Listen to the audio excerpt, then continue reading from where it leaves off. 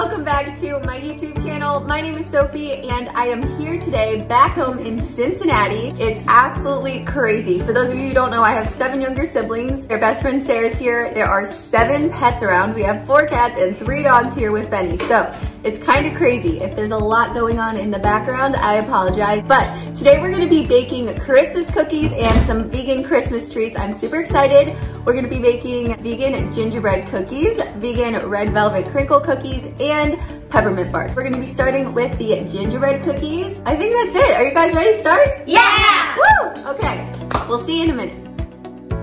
All right guys, so we are going to be starting by making the gingerbread cookies and Grace is gonna tell us all the ingredients and how we're gonna go about doing that because I am not a professional baker. So uh, you wanna tell us what's in there? What we got going on here? We're gonna start with the dry ingredients. You're gonna need flour, baking powder, baking soda, salt, ground cinnamon, cloves, ground ginger, nutmeg, Vegan butter. This is Earth Balance. I think this is like the best for baking. I don't know. That's what it's on the package, so that's what I got. And then just one stick, right? half a cup, but yes, one Half stick. a cup, one stick. And vanilla extract, And then what's this? Did you already say that? dark brown sugar. Dark brown sugar. And then you said all this. And what's this? That is a hand sifter, which you will be using. Okay. And then we got little measuring stuff. We got little Christmas, Christmassy spatulas. And then a snowman. Guys, we're going all out Christmas.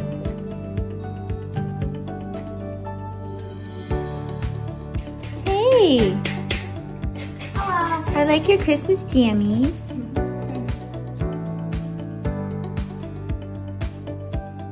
Okay, so next you're gonna need molasses, but we looked at two grocery stores and they were sold out in both. So instead of using molasses, we are going to be using regular corn syrup and just dyeing it. You wanna dye it because you want that darker gingerbread look. You don't want the gingerbread cookies to be light brown, right? Yes. Yeah, so we're gonna just dye some regular corn syrup. It should taste pretty similar, but the recipe calls for molasses. So if you can find molasses, then use that. Start with less food coloring and Yeah. then add more if you need it. So we just added three fourths a cup of corn syrup, Yes. right? Regular corn syrup. And then like two to three drops maybe of the brown, what color is this? Brown. Brown food coloring. Perfect. Look at that. Yeah, three drops really worked well for us. Oh, I don't wanna spill it. Yeah. Now with a hand mixer, we're going to mix together the half cup stick of vegan butter, the 3 fourths cup of brown sugar, and the 3 fourths cup of molasses. So proper. Okay, Miss Baker, go ahead and do it and I'll do the mixing. I would make sure that this is softened but not melted. Soften the butter, so like don't put it in the fridge. Oh my gosh. Whoa, that would have been a cool so- shot. yeah.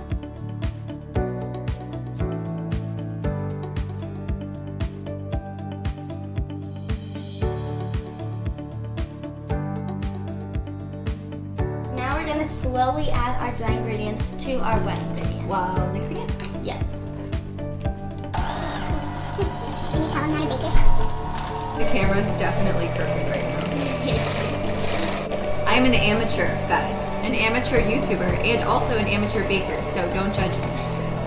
I'm gonna fix the camera. Let's uh make this straighter, maybe. Is that better? Is that straighter?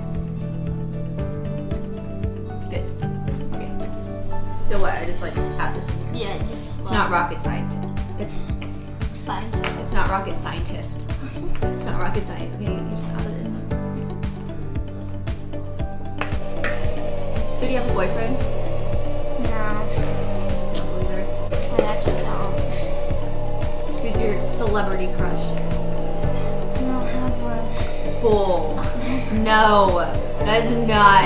That's a lie. Gosh, you're embarrassing me, Sophie. See how it's getting thicker, guys? Oh my gosh. They can't see. We gotta show them. It's getting a lot thicker now. It's more doughy. Than Yeah, liquidy. we're turning this into dough, so.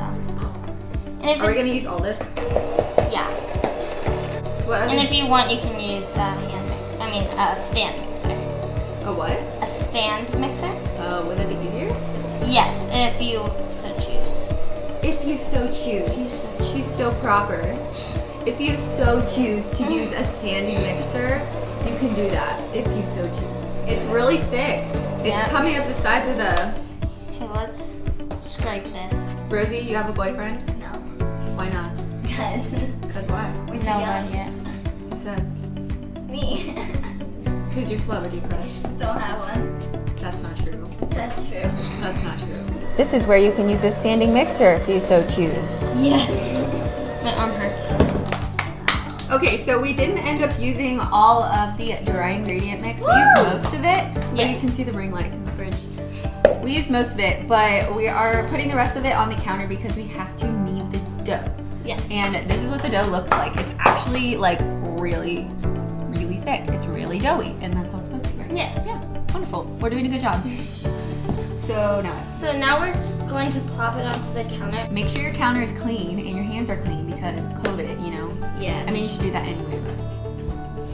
But So we're gonna knead this into a ball. Look at that. So we're just gonna knead Look this at that. into a large ball. that's not quite a ball. That's know. more of a. I just a wanna knead it together. What is your favorite recipe you have made like ever? My favorite recipe are usually during the holidays, but so far it's either this or the ho ho cookies that we made. One of my favorites of yours was the bumblebee cake that you made for That Aunt was Kelly. fun. That was so cute. She did such a good job. I'll put up a picture of it. But Alrighty, I think this is a good. that's a ball. It's finally a ball. So now we're What's gonna this? put it. Oh, you can eat that. How's it taste? Ooh. Ooh, that's super good. Isn't it good? It the dough tastes really good. I'm so excited. And they're vegan, guys. Like, this is amazing. Okay, so this is gonna go in the fridge. And then we are going to start making the peppermint bark. So, Rosie's gonna help me with that. We're gonna make the vegan peppermint bark while this is cooling in the fridge. How long does it have to be in the For fridge? an hour. For one hour. Okay, so we're gonna be making the peppermint bark next while we put this in the fridge for. Okay, so we are now moving on to making the peppermint bark. You're gonna need one cup of vegan chocolate chips. Syrup. You're gonna need pure maple syrup, coconut oil, coconut butter. So we had a hard time actually finding coconut butter at the store. So we're currently trying to make our own in the food processor and it's not going so well. We're hoping that works by the time we actually need to use it. But you are gonna need coconut butter along with the coconut oil. You're gonna need vanilla extract, peppermint extract, and Three candy canes. three candy canes. And then the recipe calls for you to use an 8 by 8 inch pan, which we don't have that, so we're just gonna use two little circle pans. The first thing we're gonna be doing is just melting the chocolate over a double boiler. If you don't have a double boiler, you can also boil some water and then heat it up in a glass bowl over top. So I think that's what we're gonna be doing. So we're gonna melt the chocolate, we're gonna put it in the pans, and then it has to go in the freezer for 10 minutes. Make sure you watch the chocolate chips so they don't burn.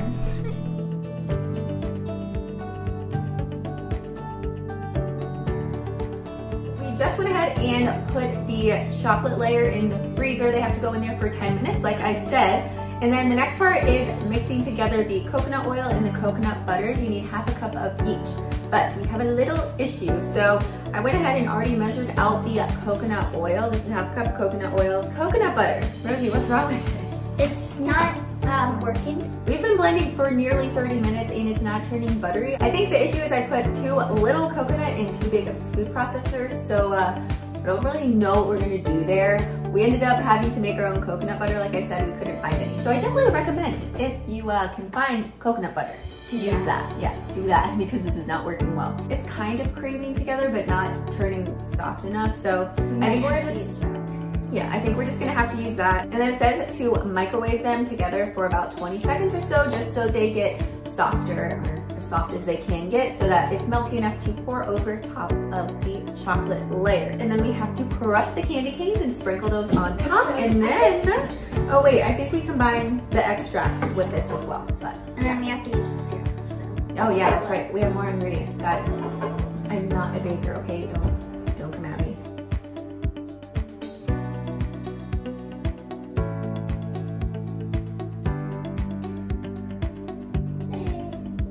Okay, that was um annoying. I don't want to say that was a fail because we don't know until it's hardened, but uh, that did not look good. Whatever the white stuff was supposed to be with the coconut oil, like, I think the coconut butter kind of messed it up. But it might taste good. Maybe it'll taste good. That could be a win, but uh, it didn't look very great. The chocolate. I should have just used vegan white chocolate chips. Like, why didn't I think of that? Anyway, that's in the freezer. That has to freeze for two hours. Guys, we were freaking out because it looked so bad, but now that we put it in the freezer, which coconut oil turns white when it's solid. It's I really didn't- good. Yeah, it looks really good. Like, look at this.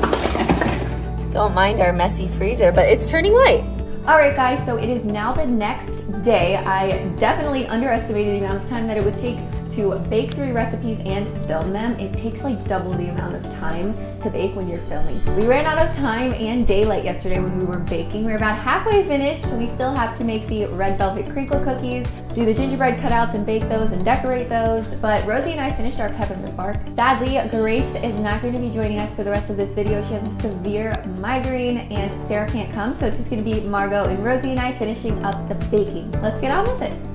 All right, Margs, what are we going to be making now? Red velvet crinkle cookies. Yes, I'm so excited. I already pre-measured things out. So we have three cups of all-purpose flour here. This has the cocoa powder, baking powder, salt, and baking soda already pre-measured. One and a quarter cups of sugar. This is actually what's going in the cookies. You're gonna need more to put on top. Three quarters cups of butter. This is just the vegan Earth Balance butter that we use for the gingerbread cookies. Lemon juice. If you don't have apple cider vinegar, you can use lemon juice to substitute. We have vanilla, unsweetened applesauce, and some red food coloring because it's red velvet, so it's gotta be red. Mm-hmm. Right. First, we gotta mix together all the dry ingredients. Would you like to do the honors of dumping that in there?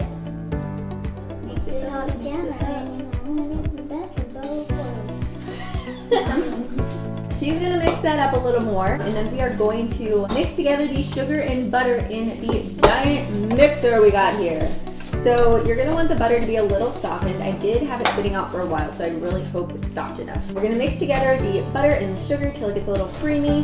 Then the rest of these ingredients, and then we'll add the dry ingredients. Like I said, the recipes are going to be in the description box if you want them. So just look there. Don't go by my word because I'm probably gonna mess this up.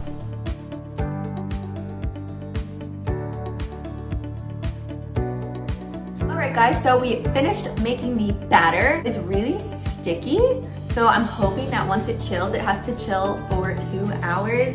Hopefully it will be more doughy after it's been in the fridge for a while. So that's the hope, but the batter, guys, Delicious.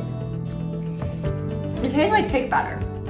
Hmm? It's so good. While that is chilling, we are gonna go ahead and start doing the cutouts for the gingerbread cookies. So we can get those in the oven, get those baking and decorate those, and then we will finish up with the crinkle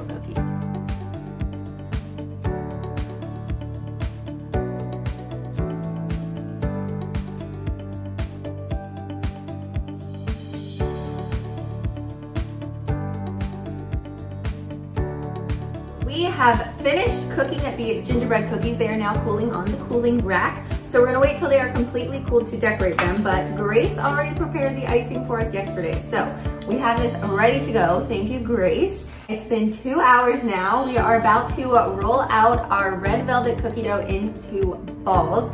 And then what we gotta do is first we have to roll it into granulated sugar and then we roll it into powdered sugar. Apparently by rolling it in granulated sugar first, you get more of the cracked look. So that's what we're gonna do next. And then we're gonna start decorating.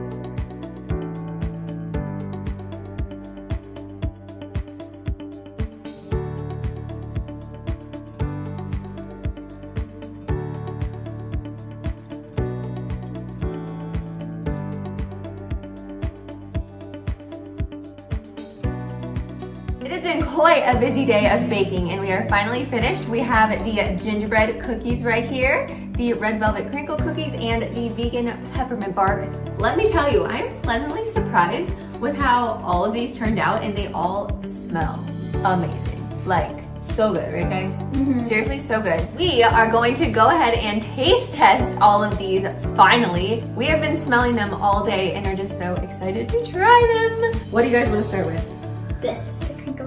The crinkle cookie. The crinkle cookie. Okay, ready? Three. Three, two, one.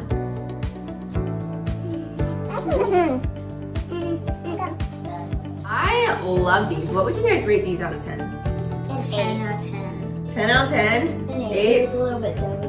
Little doughy, I like the doughy though. I would give them like an eight and a half or nine out of 10. Okay, before we try the peppermint bark, it is a little strange. So I kind of wish that I used white chocolate chips instead of the coconut and the coconut oil. If you leave it at room temperature, it gets really, really soft and it looks kind of strange. Like it has a little bit of a like yellowy tint to it. You can't see in the camera. Three. Ready?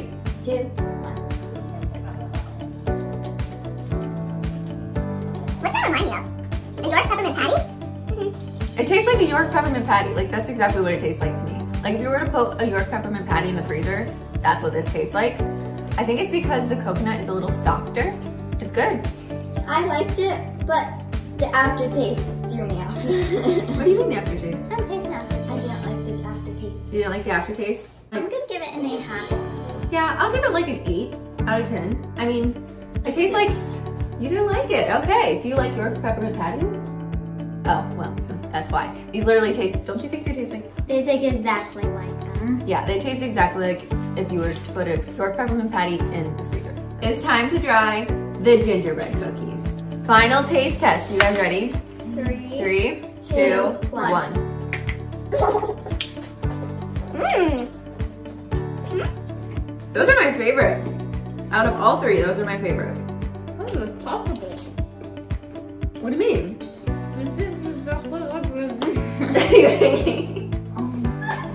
they do taste exactly like regular gingerbread cookies. They are super crunchy, which I actually like them like that, but if you want them softer, maybe just bake them a little less. We baked them for 11 minutes, so maybe do like 9 or 10. But they're so good. 10 out of 10. 10 out of 10. 10 out of 10 from all of us. am so happy with how these turned out. If you guys like this video, please like. like the video and subscribe if you want to see more fun foodie videos like this one. Most of my videos are related to health and nutrition. If that's something you're interested in, be sure you subscribe and become part of this YouTube family. I love you guys. Thank you so much for watching and I will see you in the next one. Bye!